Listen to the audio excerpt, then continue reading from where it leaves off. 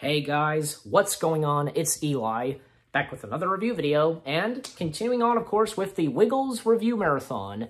Uh, now we're reviewing Wiggly Safari. That's right, so Wiggly Safari, this is with the Wiggles and Steve Irwin together, and uh, this was pretty good. I remember some, I have some good memories of watching this, and you have, of course, Steve, Terri, and Bindi, and, uh, and this was when Bindi was little, but man, now she's a, an adult and a mother, just wow, you know.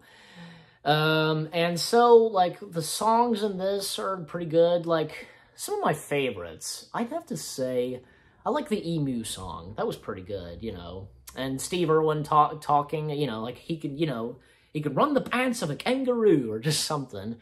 Uh, that was, that's a good song. And I'm trying to think of what else I like from that. Um, oh yeah, this is a, that's a good this is a good one too. Do the Owl. That's a nice. That's a that's a good one. That and uh, you know Dorothy, Queen of the Roses. They were actually that's actually footage from a live show they did, I believe, back in 2001. Yeah, and the same stage and same set that you would see in uh, uh, Hoop-Dee-Doo, It's a Wiggly Party.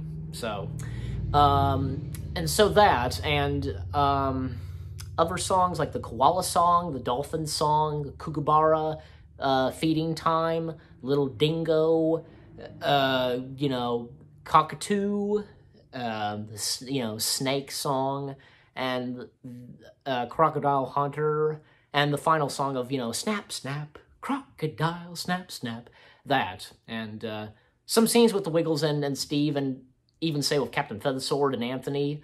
Um, yeah, just you know, Wiggly Safari, it's one of their bests, and with Steve Irwin, of course, the legendary crocodile hunter himself, the late great legendary crocodile hunter, Steve Irwin, need I say.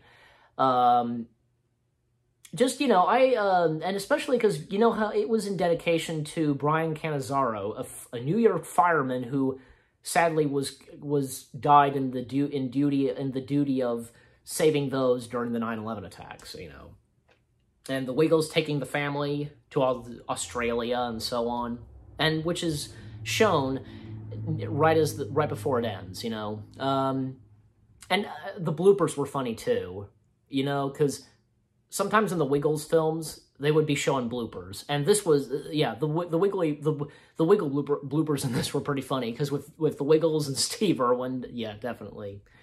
But anyway, so um, yeah, Wiggly's uh, Wiggly Safari is one of the Wiggles' bests, and with none other than Steve Irwin and the entire Irwin family, and at the Australia Zoo. Yep. So I rate the uh, boy. Um, why not? 10 out of 10. I give this 10 out of 10. It's one of their bests, without a doubt. So that's my review of Wiggly Safari. Again, 10 out of 10 for the for Wiggly Safari. You guys, you guys, let me know what you thought of my review. If you've seen this, what you thought. Leave comments give this a like, and so on. So anyways, so 10 out of 10, again, for the Wiggly Safari. I hope you guys enjoyed my review of Wiggly Safari.